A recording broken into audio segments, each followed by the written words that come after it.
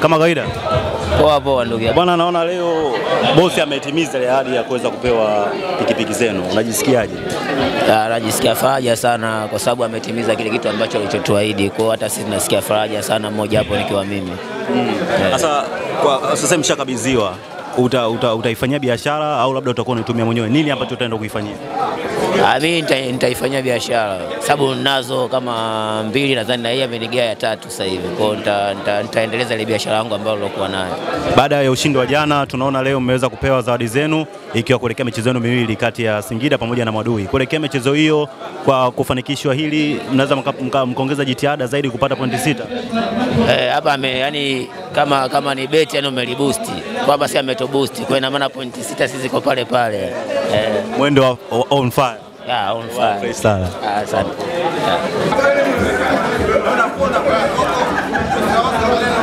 Oya, pause sasa. Haya, tunapiga picha hii.